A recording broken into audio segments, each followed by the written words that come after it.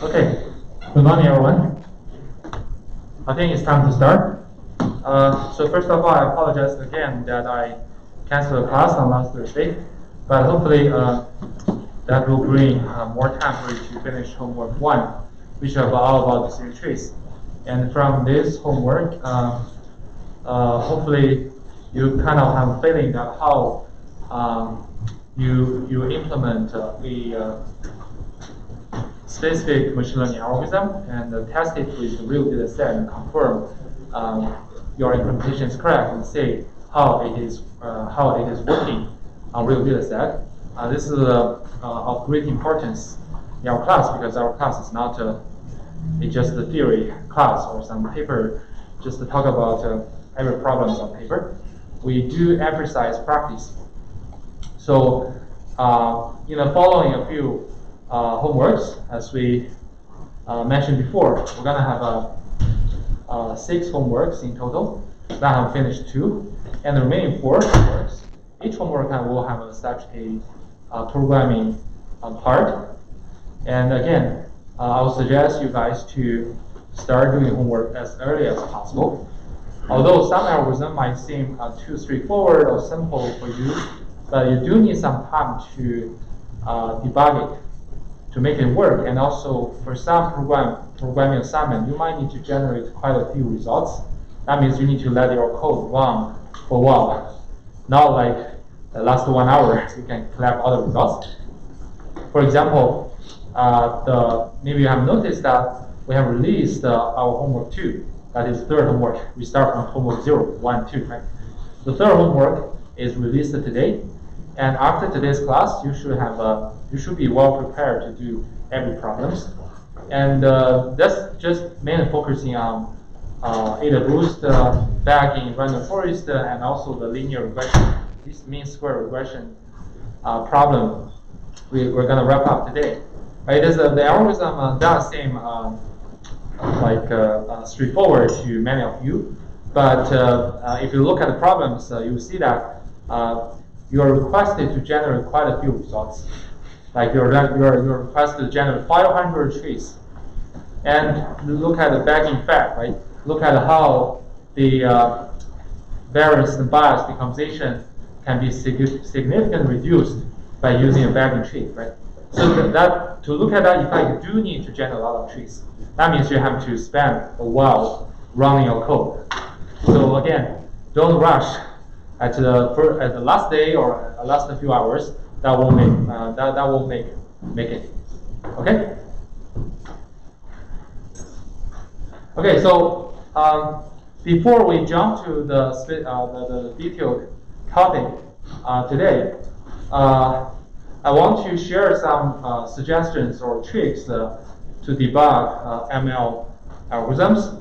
So I yeah this this done by I, I, I, by, by looking at our past few weeks experience and problems feedback from the campers and also office hours.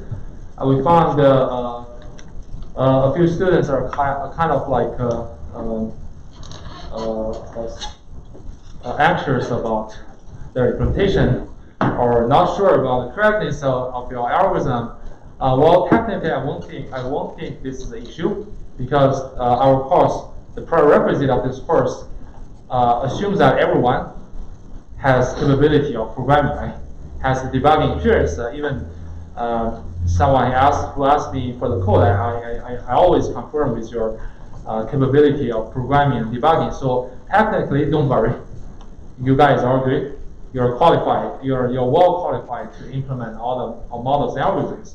I think the problem here, if you still are not confident with your implementation or feel kind of like uh, anxious, stressed out, as many, uh, mainly it's mainly because uh, you're doing ML programming. It's not uh, like other programming, typically other programming. So here I want to share a few suggestions and tricks I used for years and years, which I think is very effective.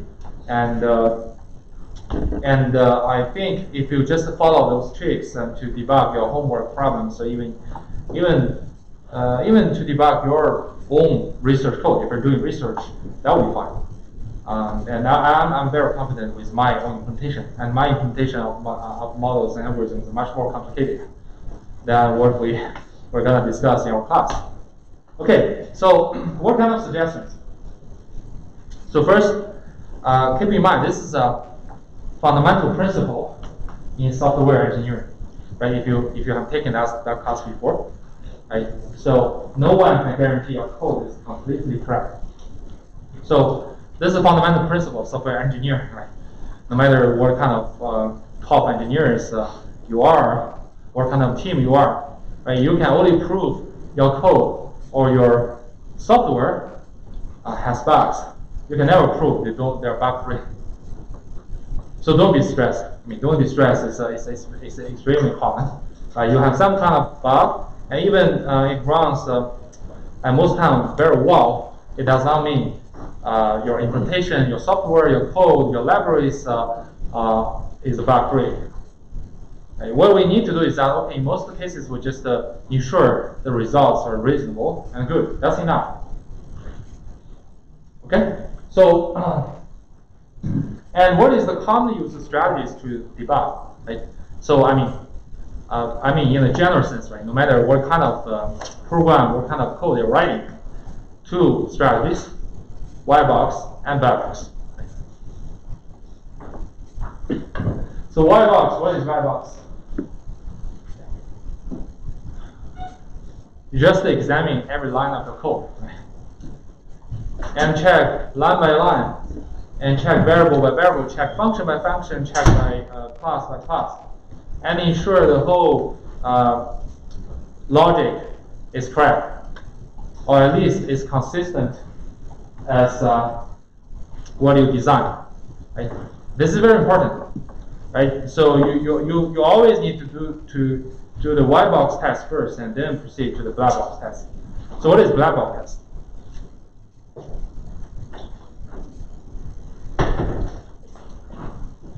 As the name suggested, will your implementation as a black box, right? Now just a test with a variety of inputs and change the settings and the inputs and look at the output and see if these outputs are correct. Right? This is called black box test. So basically, nearly all the software companies or even internet companies they have these two uh, two two uh, strategies uh, for code uh, for, for for debugging the code, right? So for white box text, uh, they might have a, yeah, you might have heard of that. It's called code review. Right? You want to submit a code to the repository, and then you must uh, it must be approved by some of colleagues, right? Several colleagues, they, they're going to review the code and then and uh, make sure everything is good, including the style, because the, uh, nowadays, like modern softwares, uh, they require the readability. So you cannot let your style code to be messy.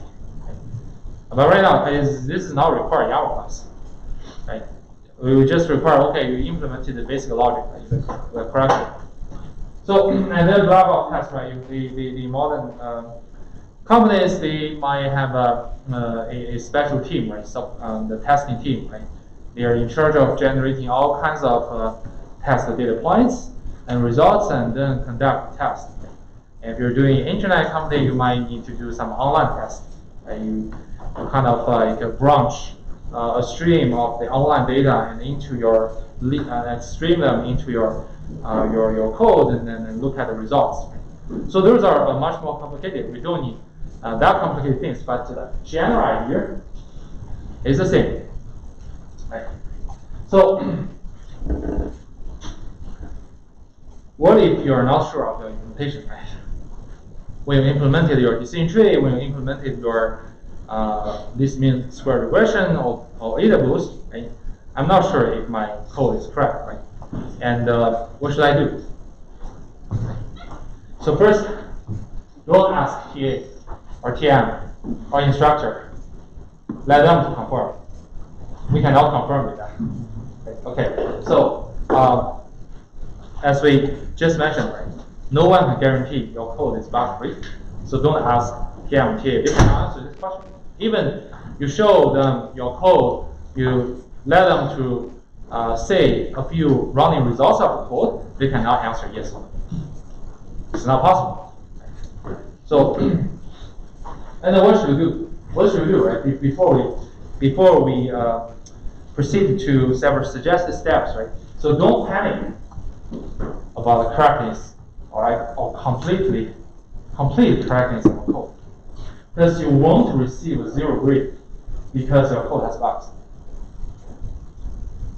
So don't do, don't don't don't don't don't worry uh, too much about the, the grading issue. Of course, if you do have code, or your code it does not make any sense, well, possibly you'll get zero grade. But if, if you do make efforts and uh, and uh, generate reasonable results, uh, it's, it's very unlikely you get zero grade. So don't panic. Right? We're quite generous about the grid. If your code is logically right, that's why we ask you we request everyone to do the box test to ensure your code is implemented implemented in a clear way, okay? organized way, because we're going to look at your code, not just running your code. That's why someone asks, okay, can you just can I just provide ex executable file, right, or exe in the Windows environment? I said no, because we're going to look at the code. As long as your code is logically right and generate reasonable results, what does what does reasonable mean? It does not it, it, it, it, it by no means that okay I give you this particular uh, data set or testing point, and I expect the accuracy should be exactly 97.5%. We won't test it like that. So usually we have a, an expectation. We know, okay, this particular algorithm for this particular data set their performance should be good enough, like 90% accuracy. So it doesn't matter if you find an end up with 91% accuracy or 92% accuracy or even 89.9 accuracy. To us, they're, they're the same.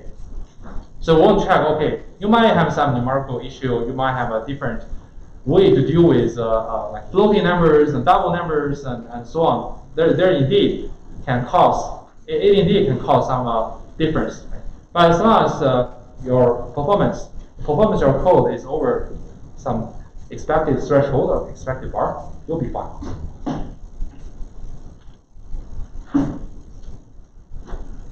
Okay?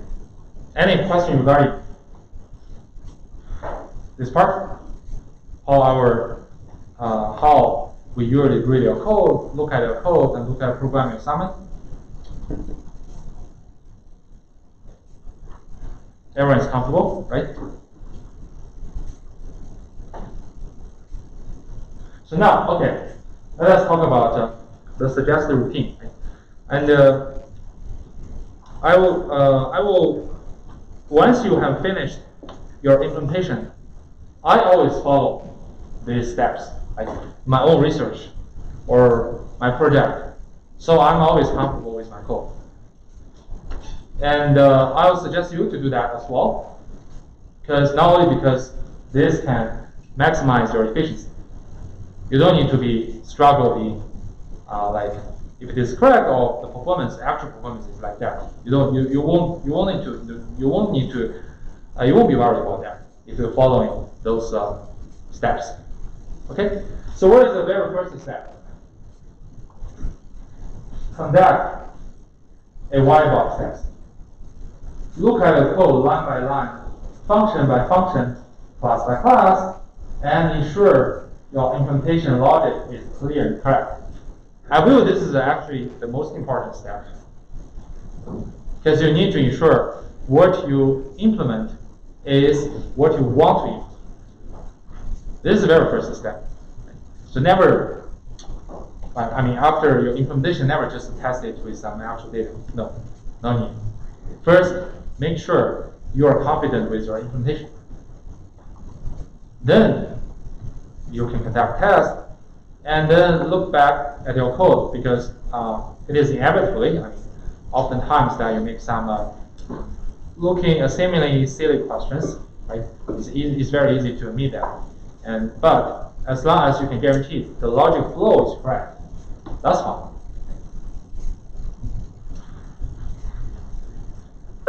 Sorry. This is also important because our TA and TMs will look at the code as well. So don't try to write a code to be, I mean, as organized as possible, as clear as possible. Uh, don't try to, I mean, optimize your code to run efficiency from the beginning. It's unnecessary. In first our class does not require, you can speed, speed up a, a, a machine learning algorithm by one, 1,000 times. The correctness is more important than the speed. Just to be clear, just to ensure uh, your code is clear. This is the first priority. Oh, what is step two? Someone may say, okay, uh, now that I can logically confirm my implementation is correct, why not just test on some real world data set? Don't do that. Why? Because uh, uh, once your result is not good, you don't know if this is uh, because of your bug, the bug in your code, or because of the performance is indeed bad. You cannot, you cannot, uh, you, you cannot make clear of that.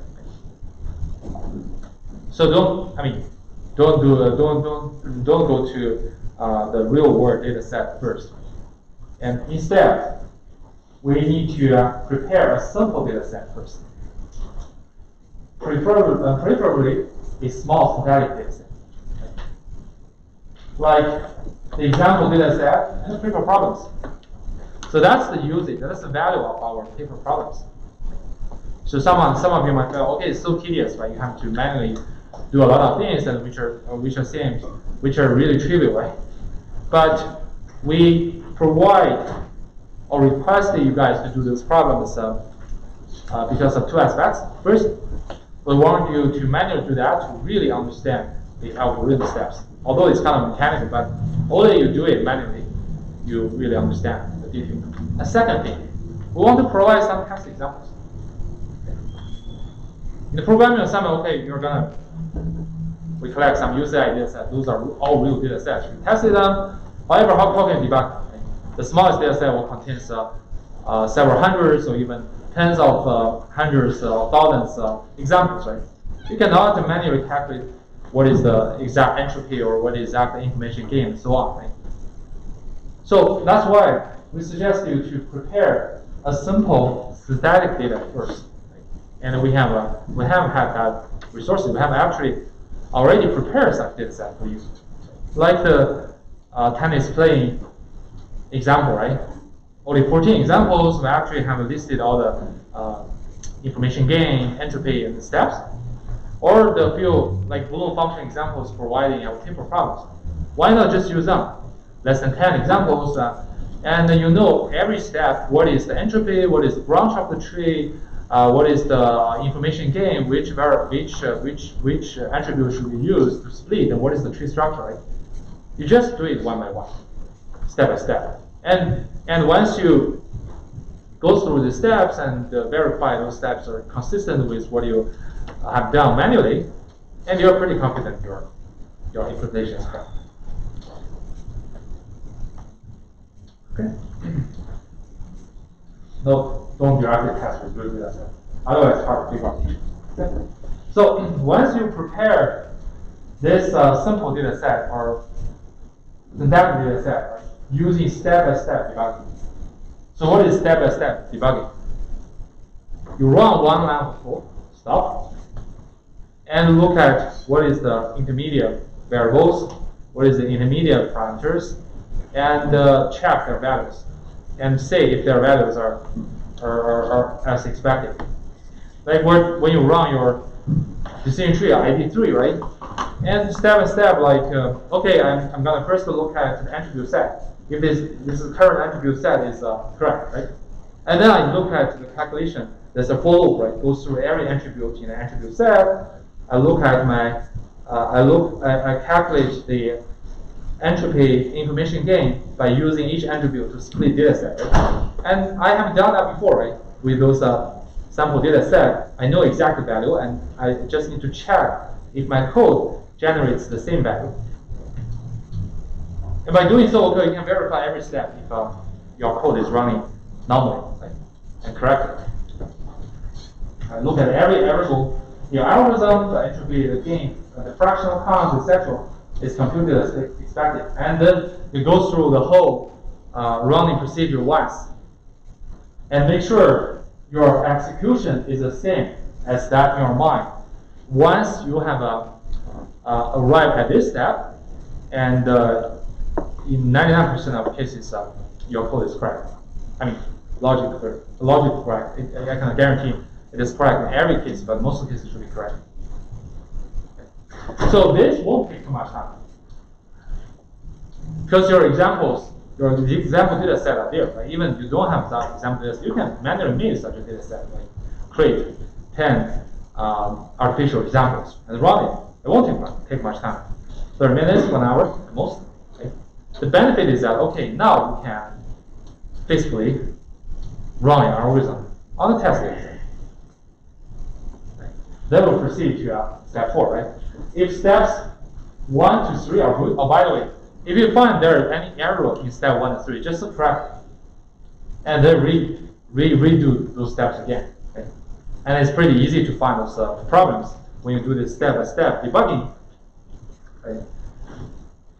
And one thing I want to emphasize that if you use Python in the terminal uh, environment, I will suggest you to use PDB. And this is similar to GDB. Mean, if you use the GCC compiler, GCC in the Linux environment, uh, the common use debugging tool is called GDB, and for Python it's called PDB.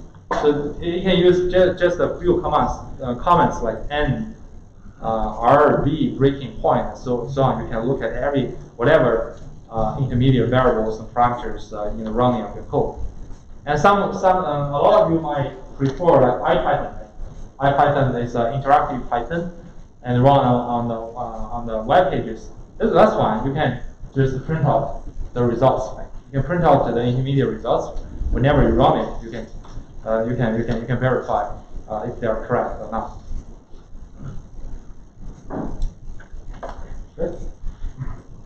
And once you have uh, done step one to three, and then go ahead and test with set. And uh, again, just be careful, right? Just to ensure that uh, your results from uh, the, on the real data set are uh, reasonable, you still use step-by-step debugging, right? You just uh, just run one step and look at the results. But right now, you cannot manually calculate if those results are correct. But at least you can look at the values and look at the selections. You're, you're going to have a sense if this is uh, working as uh, uh, normal. Okay? You're going to have such, such a sense. And you just do it step by step until you finish it. And then that's it. Just follow these uh, four steps.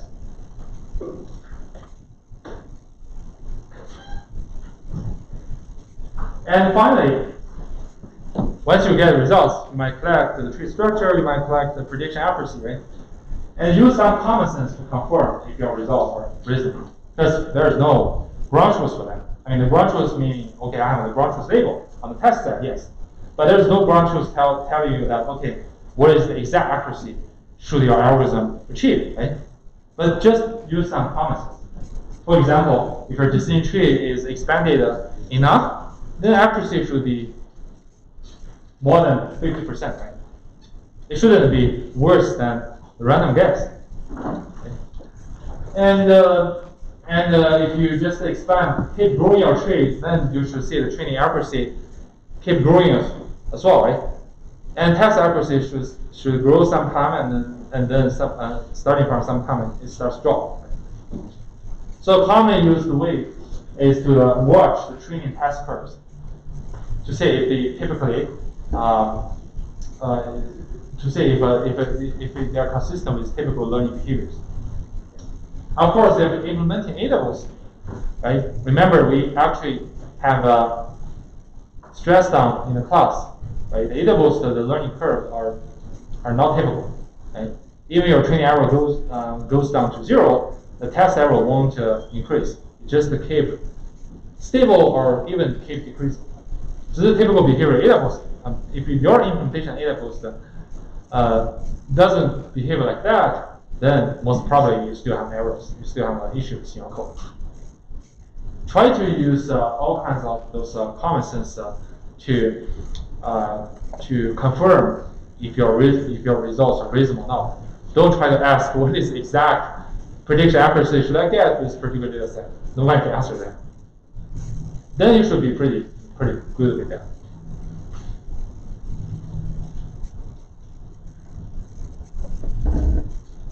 Okay, any question?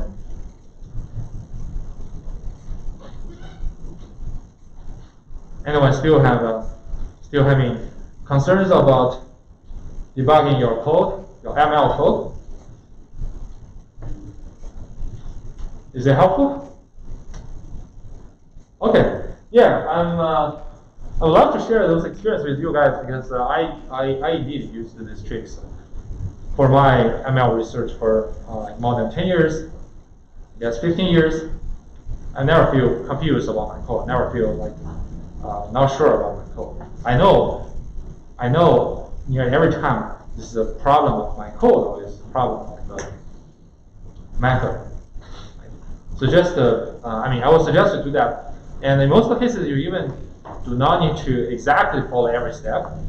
And that sounds a little bit tedious for everyone, but uh, if you if you can follow most of those suggestions, uh, uh, you will be perfectly fine for at least for these homework problems. Okay, so um, uh, sometimes uh, you might uh, you might see some weird issues, like your oil entropy is zero, or oil selection results, oil tree has the same structure, Right, that's weird and and uh, and uh, it's uh, it's not obvious. You can't you can't think of any uh, possible reasons, right? Well, uh, I, I, I, I have, have, have had experience uh, as well, right? So most probably it's still due to your own mistakes, meaning some some inconspicuous bug. For example, I have ever I once met a, a bug. I mean the code is exactly the same as the previous version and but the performance just become uh, became very very bad. In uh, in my previous uh, environment, it works very well, and then I run it uh, in another desktop. It just it, just uh, you know suck. It's really I mean heavy. I, I, I check every line of code. I'm, I'm pretty much sure um, it is correct. Right? And finally, it turns out to be the issue of uh, the Python version. Right? Python 2, if you uh, if you if you if you divide by some integer, it's just doing integer uh, uh, divide by some integer, right? It's just doing integer division multiplication. But in that, in that case, we want to do the continuous numbers. Right? So I have to switch to Python 3. Your Python 3, no matter uh, whatever constant you throw them into a script, they view it as a continuous number. So we won't have some such kind of issue. So that's, uh, I mean, those are kind of uh, weird problems. So if you happen to have such a, problems, um, and you can you cannot solve it immediately, uh, be patient. Just be patient. And uh, usually at this uh, stage, uh, it's uh, not very helpful to ask uh, others because no one understands your code better than you. So what you need to do is that carefully debug, and again, step by step, and look at the results after executing each line of code, and try to narrow the scope. Try to narrow the range of the bug. And finally, you, you, you, you'll find it out.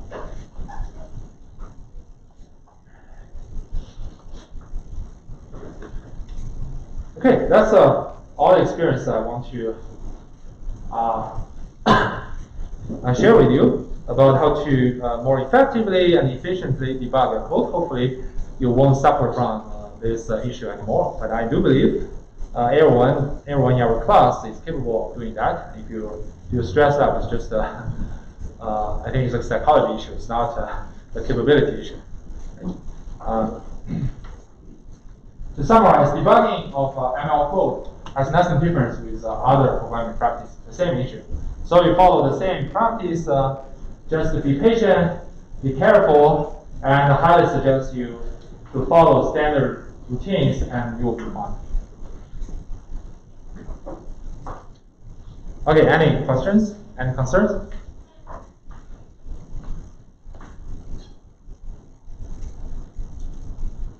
Everyone's good?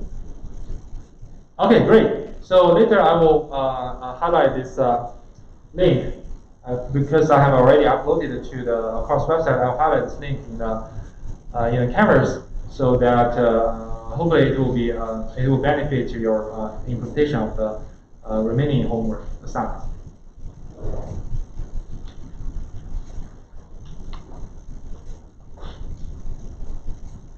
So now, let us continue with our uh, linear models.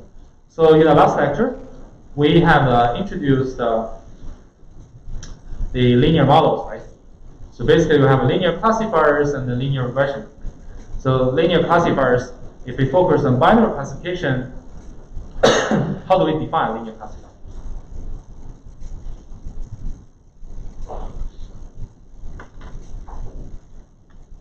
Any thought?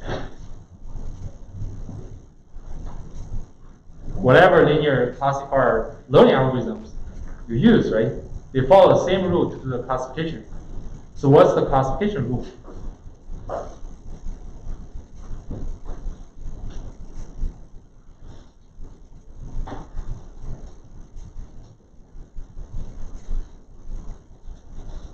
We got a classification function, right? or sometimes we call it decision function. So this function is a linear function, meaning that, okay, it is just a linear combination of all the input features plus a bias parameter. So if you still uh, have some impression, the classification function is written as uh, w1 x1 plus w2 x2 plus da da da plus wd xt. Suppose you have d features, then plus a bias parameter b. So this is called classification function or decision function. Then we just look at the sign of the decision function. Right? If it's positive, then we predict the label uh, to be positive. Otherwise, we predict label to be negative. So this is a definition of the linear classifiers. And we discussed uh, the uh, geometry view of uh, linear classifiers. This is a nice property of the linear classifiers because uh, uh, your decision function can determine where the classification boundary is, right? The classification boundary is essentially an equation an equation that the classification function is zero. And it separates all the examples in the instance space into the positive part and negative part. And also, uh, we discussed uh, some other properties like uh, any the, the, the, the, vector which is uh, perpendicular to the classification boundary, essentially weight vector. Right? So this comes from our uh, preliminary knowledge of geometry. Everyone should have learned that before. And in our remaining uh, uh, lectures, we're going to spend quite a few discussing uh, several linear classifiers from perceptron to support vector machines, from logistic regression to uh, uh, to, to naive Bayes. Right? And but now uh, we we're going to first talk about least mean square regression. That's for linear regression. the reason is that okay, we're gonna we're gonna first finish up this, and then from which we can introduce uh, several fundamental optimization algorithms which are used everywhere in machine learning area. Okay, so what is linear regression? First, it is a regression task. So our goal is to predict a continuous label or continuous output given your feature representation of the examples. Right? So uh, we actually have uh, discussed uh, this example in the last lecture, right? just to reinforce uh, the uh, idea. Right? Suppose our goal, we want to predict the mileage of a car from its weight and age, right? So uh, here we, we have collected uh, several examples, right? And for the first car, we have this weight, and we have this uh, age. Then we have its mileage, right? weight from the uh, uh, from from from which can be read from the car, right? So then what we want is that we want to learn a function that can predict the knowledge using the two features, x1 and x2. So this is a typical uh, regression problem. And you can make a, make a lot of other examples. For example, uh, how do we predict the uh, temperature of tomorrow, right? Given a bunch of features. And what about linear regression? So as the name suggests, literally, uh, we, we're going to predict these continuous labels with a linear model. That's it. Uh, we, assume, we assume that the output is a linear function of the input. So mileage is our output, right? And we assume, okay, uh, the mileage is essentially a linear combination of these two inputs, the weight of car plus some bias term. Right? So here for convenience, we write bias term by W0, and uh, the coefficients for x1, x2 are denoted by W1, W2. Oh, by the way, we have discussed why should we use uh, this bias term in the last lecture, right? In the classification case, uh, uh, the reason we use the bias term is that we want to want more flexibility. If we require W0 or the bias term to be zero, then the classification boundary can only must pass through the origin. Right? That will restrict the flexibility. So similar arguments apply here. We assume uh, is also a linear combination of the existing features plus W0. But in, yeah, another way you can view this is uh, an augmented uh, feature, right? You have an augmented feature 1, so we actually have three feature values, 1, x1, x2. So W0 view is viewed as another weight. So we have a, a weight vector consisting of uh, W0, W1, W2. So the mileage can be simply written as inner product between the weight vector and the feature vector. So our goal is to use the training data to find the best possible value of the W. So w, remember W here includes W0, W1, W2. And once we have learned this optimal weight vector from data, from training data, given the values of x1 and x2 for a new car, then we use the learned weight vector to predict the mileage for this new car.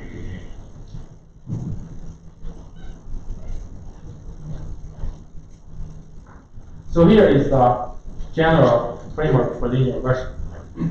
I repeat uh, again, although we have discussed uh, about that uh, in the last lecture. So assume our inputs are vectors from a three-dimensional space. Right? So here input x uh, includes the augmented features, namely constant, constant 1.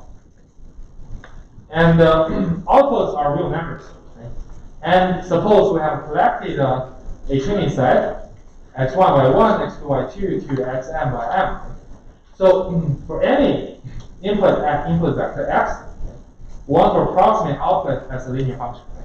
So uh, as we just uh, mentioned, right, the input vector includes the constant feature 1. So we can write the uh, output as a linear function, w1 times constant feature 1, which is w1, plus w2 x2 plus the da plus the d xt, and uh, it can be conveniently written as inner product between the d vector w and the augmented feature vector x. Any questions so far?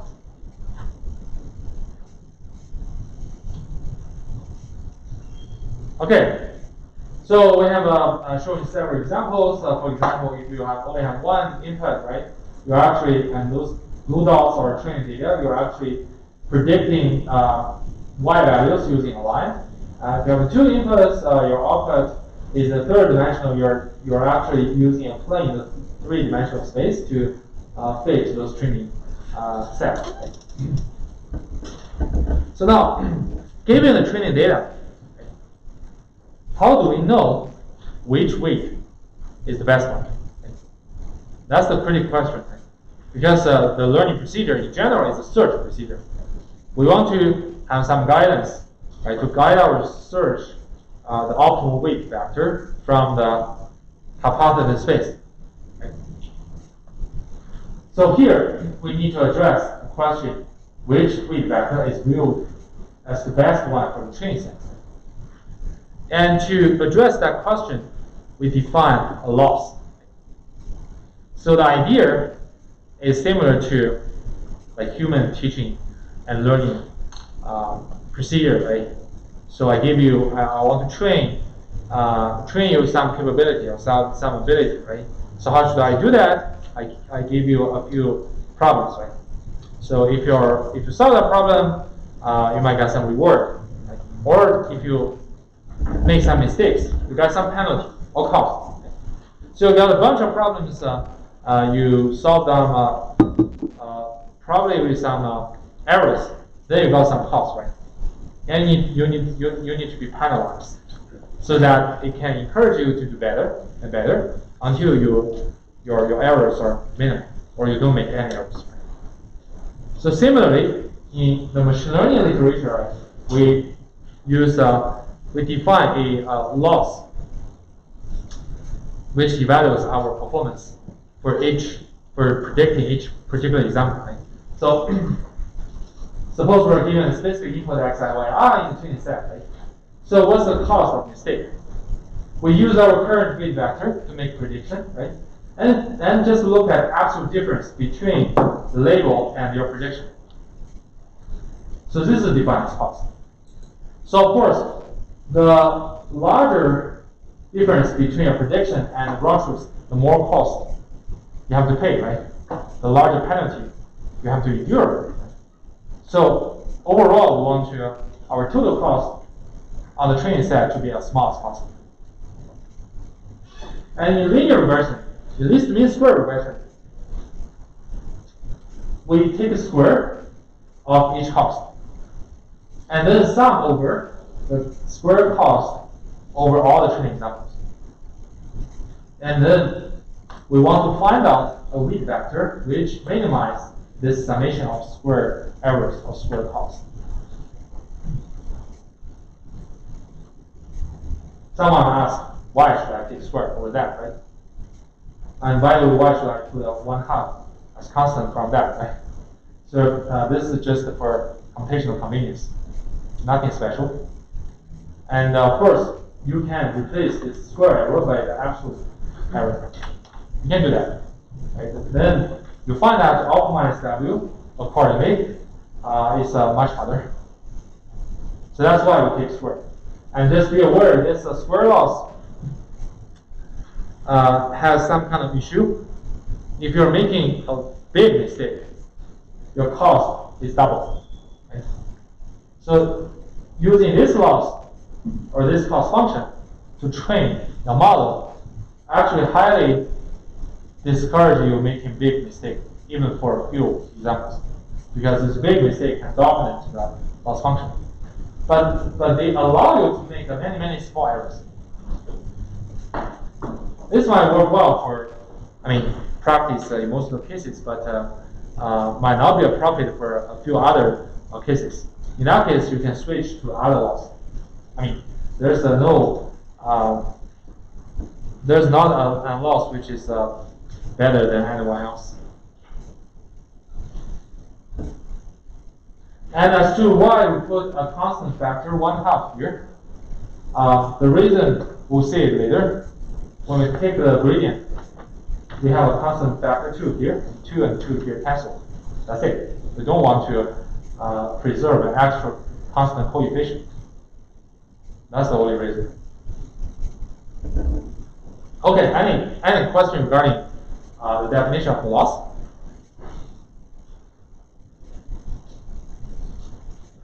Okay, so now our strategy, given the loss function defined over the whole training set, right? our strategy for learning is to find the weight vector W with the least cost, which is to minimize this uh, cost function.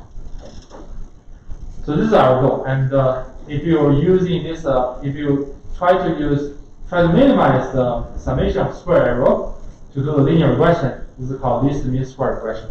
That's where least mean square, uh, this term comes from. So now we have uh, converted the learning problem into an optimization problem. Right? Our, our task is to solve this optimization issue. Right?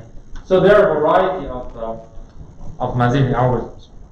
And but here we're going to discuss uh, uh, two strategies which are widely used uh, in, uh, in machine learning area. One is called gradient descent. The other is called stochastic gradient descent. So, so what is gradient descent? In general, gradient descent can be used to uh, optimize uh, any function. for example, I could minimize any function as long as the function is a, is a differentiable.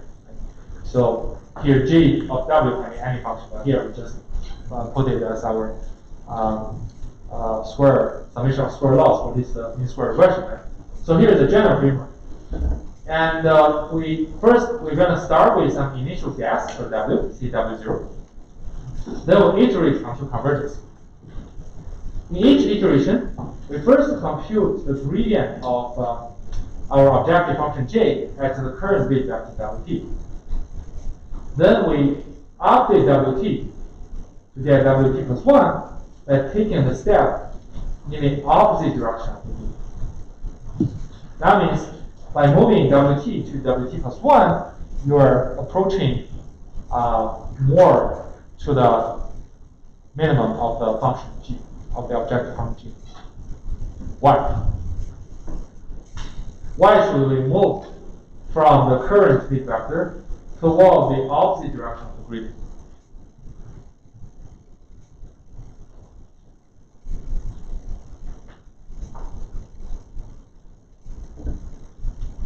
gradient? Against the steepest ascent, and you want to minimize, and you could go the opposite way. Yes. So this is actually common uh, knowledge that is the gradient direction of the increase, and it's uh, also the, steepest uh, direction to increase the function locally. So uh, if you're not sure of that, apply Taylor expansion uh, on any function, you'll see that. So the gradient is the direction of the increase in the function. But right now our task is to minimize the function. So we go the opposite direction. To be more intuitive, right? Let us just, just look at this particular objective function. And we conducted gradient descent steps. Let's see what happens. So at the beginning, we initialize our weight vector here at w0. Of course, it is uh, quite far away from the minimum, right? So we calculate the gradient. So the gradient here is actually the slope of this uh, uh, tangent line, right? So now, uh, who can tell me the direction of the gradient?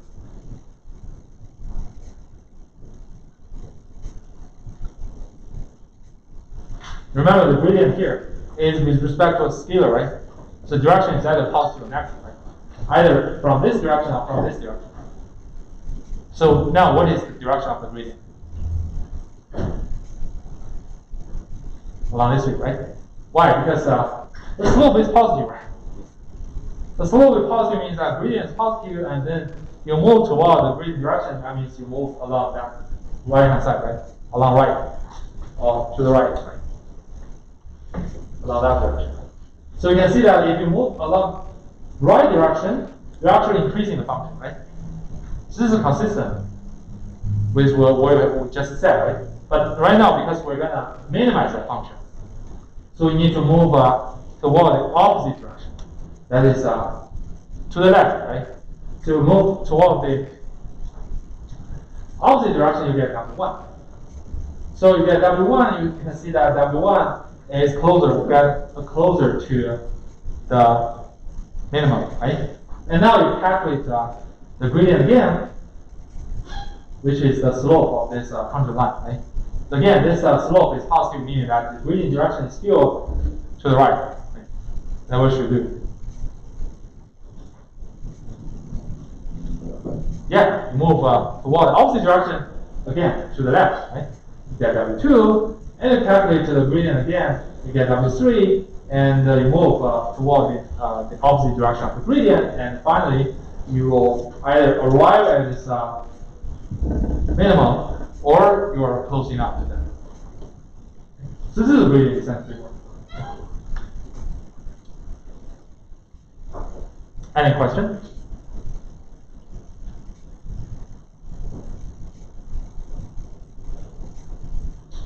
Okay, so now let us uh, apply gradient descent for our least mean square regression, right? So again, we're gonna first initialize our weight vector, denoted by W0. And now we run through many, many iterations uh, until convergence or the maximum number of updates have been done, right? You can choose whatever stopping criteria you like, right? And then inside each iteration, we first compute the gradient of our square loss at the current weight vector, and you denoted by this uh, nabla j, right? Then update W as follows. This is how we express gradient descent. Wt subtracted by the gradient multiplied with some step size r. So minus gradient here is uh, the opposite direction of the gradient, right? And now you need to determine how much you want to move move uh, um, move uh, along along the negative or opposite direction of gradient. This uh, step size is called R is uh, R is called learning rate. And then once you have updated your weight vector, right, you finish this current iteration, you move to the next iteration, and now you calculate the gradient again inside. Uh, inside next, next iteration, you get gradient, and then you have, you move uh, the current weight vector along the opposite direction of gradient with step size r. Right? You do it again and again until uh, all your iterations are done.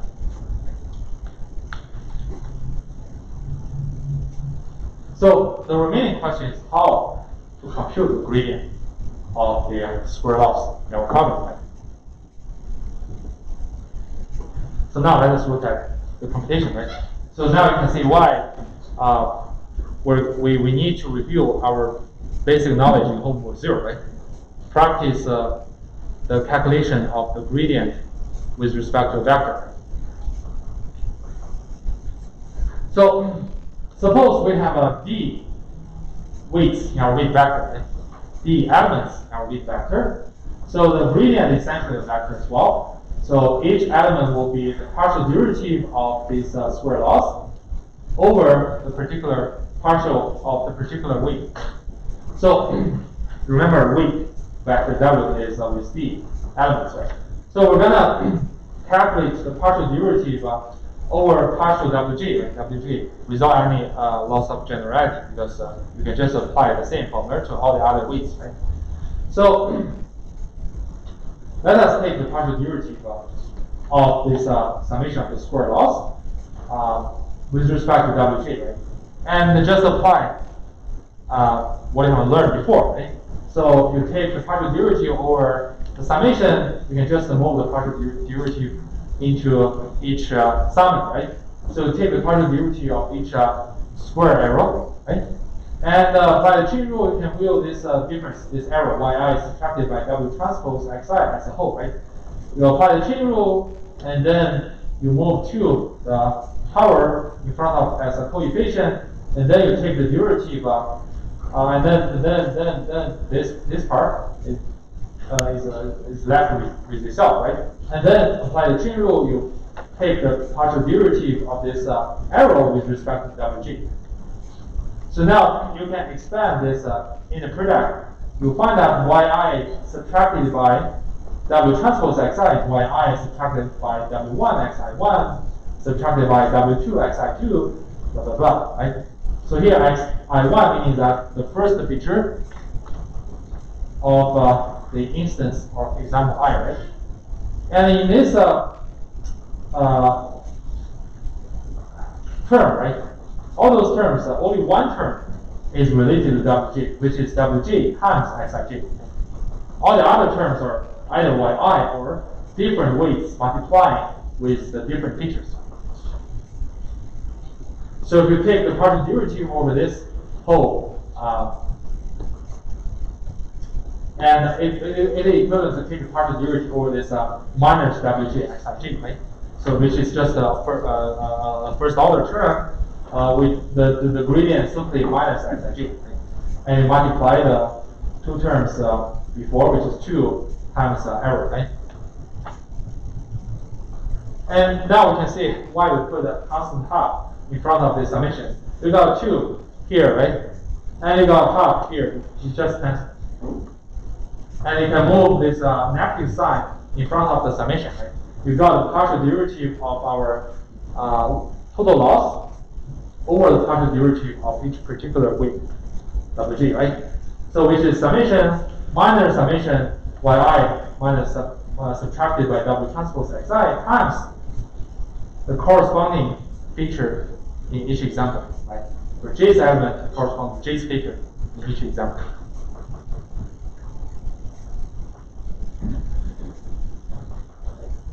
So we calculate one element of the gradient vector, and of course we want to we want to calculate the full gradient vector, meaning that we can loop through all every gradient element to get results. But again, as we uh, emphasized before, I will encourage you to write the gradient vector in terms of matrix uh, vector formulas, like matrix uh, vector products or summation, all kinds of stuff. That will be uh, that will be much more convenient. So if we look at the result of this gradient, we find that uh, it has uh, an interesting structure. So you can see that the gradient with respect to a particular weight, say j weight, is essential, essentially a summation of the product of the prediction error times the corresponding input feature. For weight, for weight j, it corresponds to feature j. Right? And just uh, multiply them together, and add them together. Of course, don't forget to uh, put the minus sign in front of it.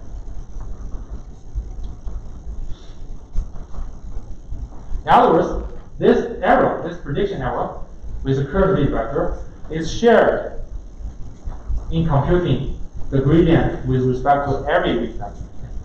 So if you prefer to use uh, like a for loop to implement this, just uh, I mean to be more efficient, it's better for you to first uh, calculate the error in predicting each uh, training example and store them beforehand. Okay. Any question regarding this uh, derivation? I think it's pretty standard.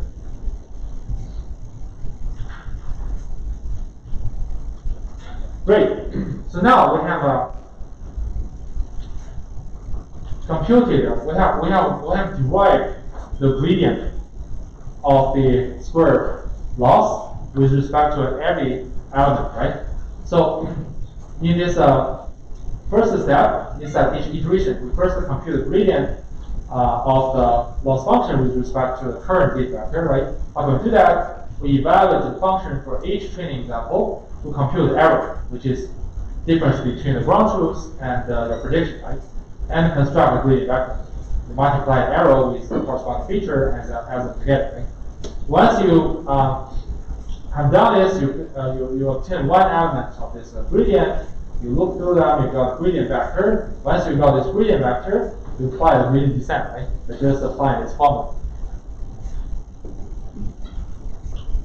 And you finish one iteration, and then you proceed to the next iteration until the total error is below a threshold or whatever other uh, criteria you prefer.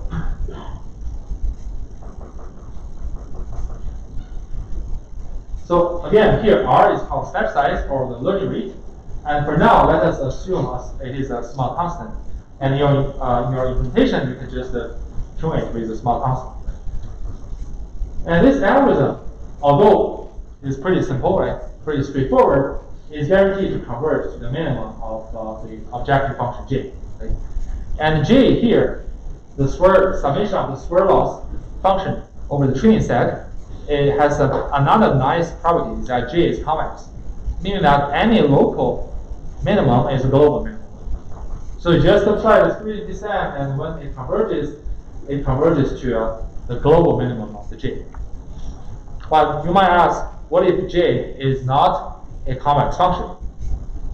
It is not a convex function applying gradient descent as long as you choose a propagated step size R you, guarantee, you are guaranteed to converge to a local uh, station point, meaning that your gradient is uh, zero.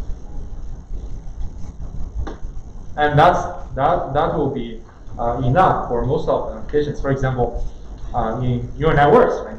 The loss of neural networks is really highly nonlinear, non-convex, so no one can guarantee you find a global uh, outcome. But usually, if you can um, arrive at a local minimum, uh, that would be good enough.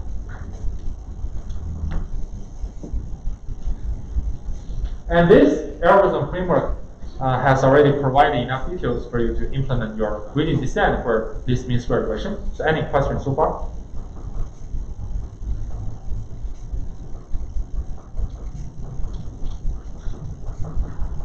Everyone's good?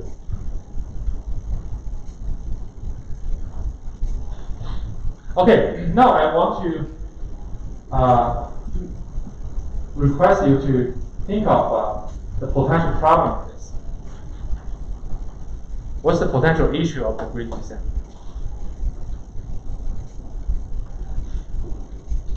Any thought? Um, can you end up finding like a local minimum, but not like the minimum for the whole function, I guess? Oh yeah, yeah, yeah, yeah. You're right. Absolutely right. Yeah, this is a, this is actually the issue for almost all optimization algorithms. So if you want to use those uh, global optimization algorithms, which have some guarantees like uh, simu- uh, simulated annealing, that will be much much uh, slower. So yeah, this is a, this is an issue, but it's uh, uh, some kind of issue uh, people can okay uh, can can accept. But other than that, any other thought of uh, issue? I imagine it could take a long time to converge if your R is too small. Yeah, of course, definitely. Any other issue? Maybe it gets smaller and smaller as we approach towards the moon. Yeah, yeah, yeah, right. Mhm. Or is very large, then jumps between the vacuum never converge. Yeah, yeah, yeah. That's a uh, that's a that's a that's a very good point. So you have to carefully tune R in practice. Otherwise, it might just oscillate. Any other thought? If the error is um, if the error is too big and it accumulates, uh, it might cause a very large object to the. If the error is too large, Like the, the yi minus the weight xi, Mhm. if that is too big for every single i, then if you sum that together, you get a really big, uh, Yeah, yeah, yeah. Yeah, that's pretty common. So that's why you have to, you already set R to be very small, especially for uh, highly nonlinear, highly non-convex objective function. But I would worry that if you have a lot of data with a lot of features, this could get really unwieldy really fast. Yes, yes, yes. And thanks for all your points. Your, th- those are perfect. But here, I want to emphasize the point you just mentioned. If you have a lot of data, this is really, really slow. Why? Because uh, when you compute only one gradient element, we need to sum over all the training sets. Like we need to compute the error, the prediction error, with the current model for every training example, multiply with corresponding feature, add them together. So remember, this is just perform. This is just to perform one update. You have to go through the whole data set. And this is the time of big data. It's not uncommon that You've got one million training examples, even one billion training examples.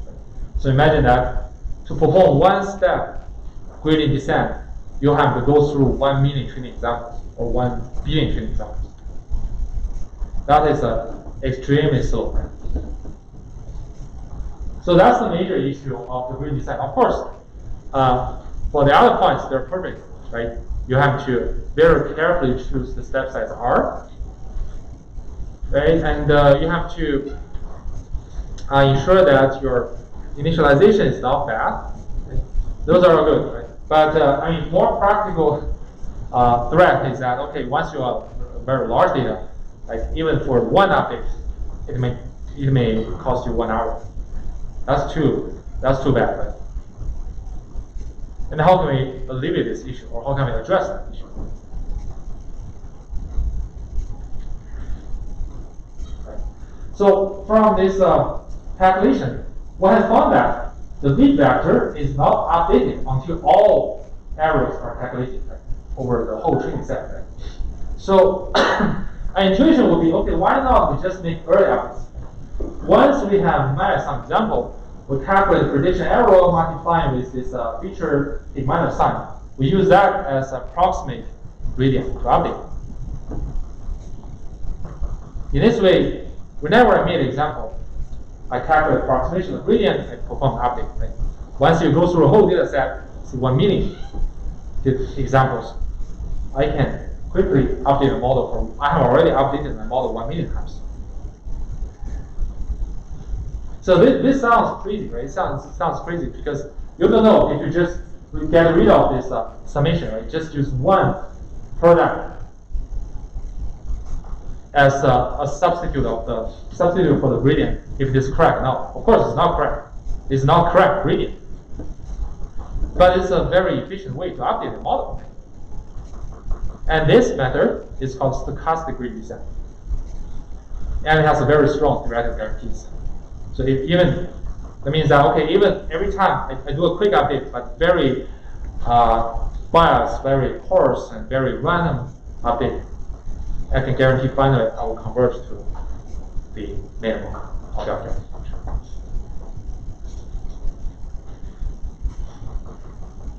So here is the idea for the uh, stochastic gradient descent.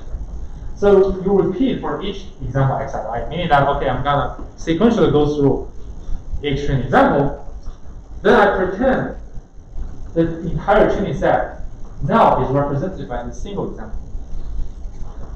I just calculate the gradient of the loss on this single example and use that gradient to uh, update our model, namely performing gradient descent, right? Of course, this gradient on the single example is not is not uh, the exact gradient over the entire training data, right? So we call such a gradient a stochastic gradient.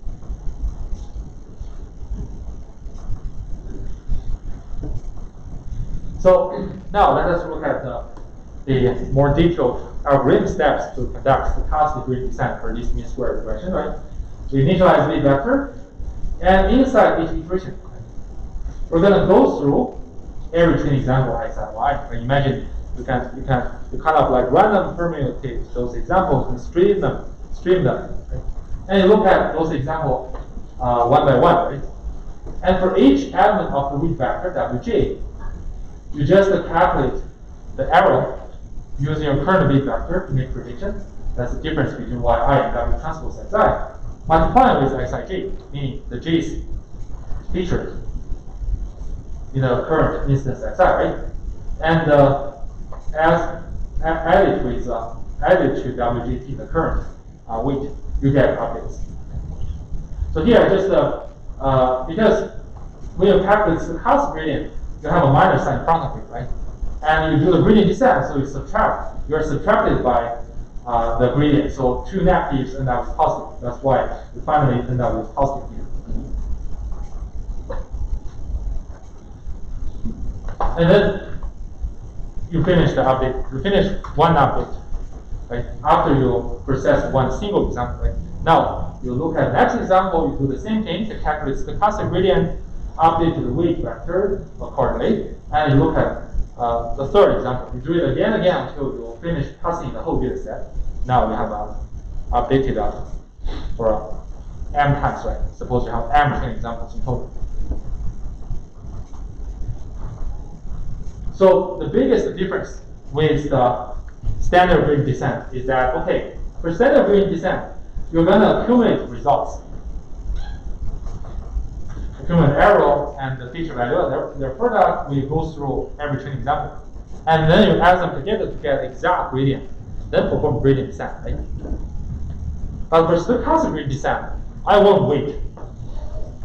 Once I have a, say an example, I just calculate this uh, uh, product of error and feature, and then view that as my approximation of gradient and perform gradient descent. So in this way, I can update uh, my model or the weight vector much, much more frequently than the standard gradient descent.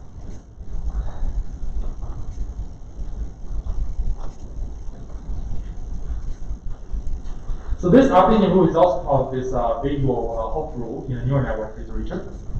So it's very intuitive, uh, but uh, uh, later when we uh, discuss about SVM, we'll, we'll, we'll, we'll, express it in a more formal way, more rigorous way. And you will see that even such a simple update, a simple crazy update, they can guarantee um, your, your, your, your weight vectors is going to converge to some uh, uh, minimum of the objective function.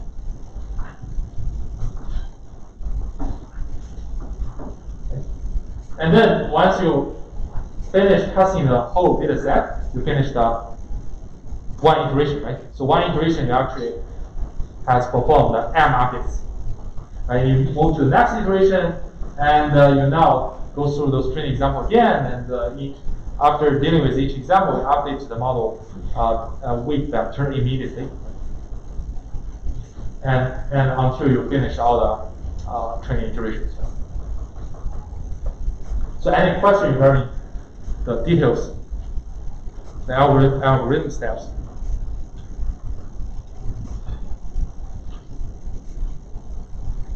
Okay, I think this uh, provides uh, enough uh, um, information for you to implement your stochastic gradient descent uh, for this mean square regression. You'll see that why it is uh, working in practice. I mean, on some real data set, you see that it, it, it indeed, it, indeed working. It indeed, indeed working. Okay. So when you have a large training set, the first choice is always this uh, stochastic gradient descent or online algorithms. Why? Because in that case, uh, uh, the frequency of the model update, meaning that when your data has arrived, uh, you need to update the model uh, as quick as quickly as possible, as frequent as possible. Uh, this is very important in machine learning practice. That's people uh, people always use uh, stochastic descent with large data, and oftentimes people find you know, stochastic gradient descent can get close to optimum much faster than a batch version. The reason is still because, okay, although each time you use standard gradient descent, you use exact gradient, right? And uh, but to get such an exact gradient, you pay too much price. To wait. You have to wait a lot of time to perform one update. Right? And by, by using stochastic gradient descent, well, every time you make some wrong update, some some kind of wrong update, but as long as you update enough frequently, you can still converge faster than the standard descent frequency.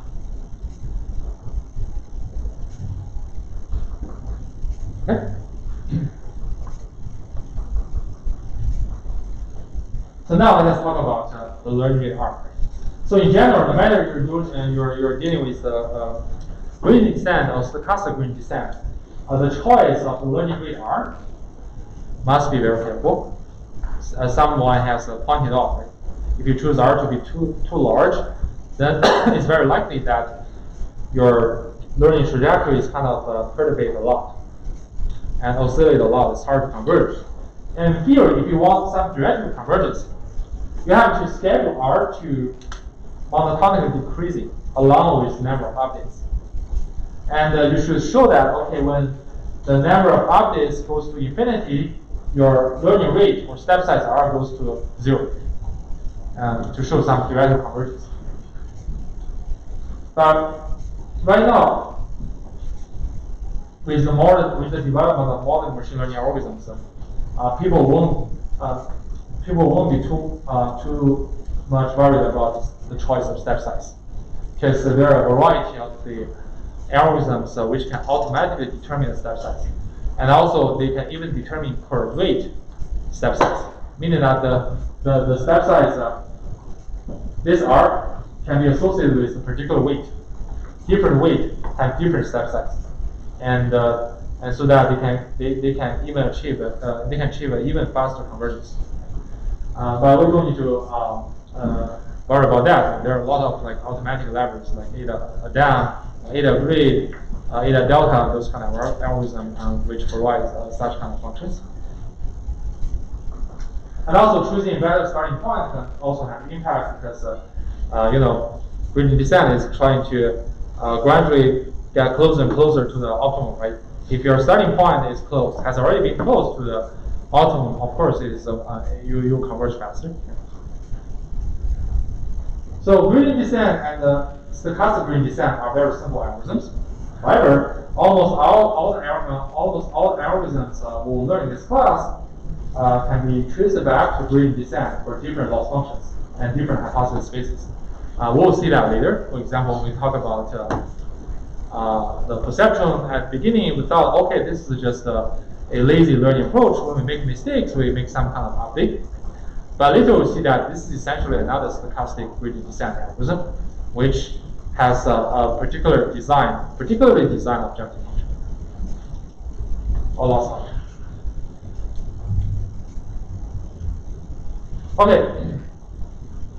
So now we have uh, wrapped up uh, the uh, uh, linear regression case, and, um, and everyone should be well prepared to implement their own version of least mean square regression. To summarize, right, what is linear regression? We want to predict a real bad output, meaning that output is continuous. Using a feature representation of input, the key assumption is that the output is a linear function of the input. And how do we estimate the parameters, namely those weights? We're gonna optimize the cost, right? So here, for this mean square regression, we choose uh, a square loss, the summation of the square error over every training example, right? Take half. And we can use two strategies to optimize the cost function. One is called gradient descent, the other is called stochastic gradient descent. And we, we can apply any of them to uh, optimize the function to get the best speed factor. However, uh, in addition to this practical algorithm, for this particular problem, uh, we actually can derive an analytical solution, meaning that you even do not need to uh, implement an optimization algorithm. How can we do that? Uh, actually, I will leave it as an exercise for you, but ju- just to give you uh, some hint. So, suppose we're given data set x1, y1 to x m, ym, right? We can define an input matrix x and output vector y. So x is essentially just uh, you know just uh, uh, put all those input together, uh, input vectors together.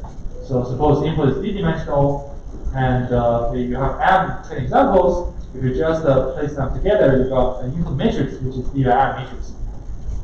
And also you can uh, place all the outputs together, you get a uh, output vector, which is m by 1. Then our square loss function can be simply written as this. So x transpose w is subtracted by y, uh, transpose x transpose w is subtracted by y. So this one is actually the error, the training error. Basically, this is a prediction. X transpose w, and uh, uh, uh, if you do the X transpose, then each row is X, each particular, particular instance. Then you times W, you actually got the prediction for every uh, uh, instance. And then subtracted by Y is actually the difference between your prediction and uh, the alpha. And this is a vector, so if you do, this is actually an inner product of this uh, error. So that's why it's called uh, uh, the uh, square error. And if we directly solve this problem, meaning that we take the gradient of this uh, loss with respect to big vector directly, right? Just recall what we have done in our homework zero. We have reviewed this basic uh, algebra. And you just calculate gradient and set the gradient to zero, you'll see that it's a linear system. And uh, the optimal weight vector is derived as this x, x transpose inverse xy.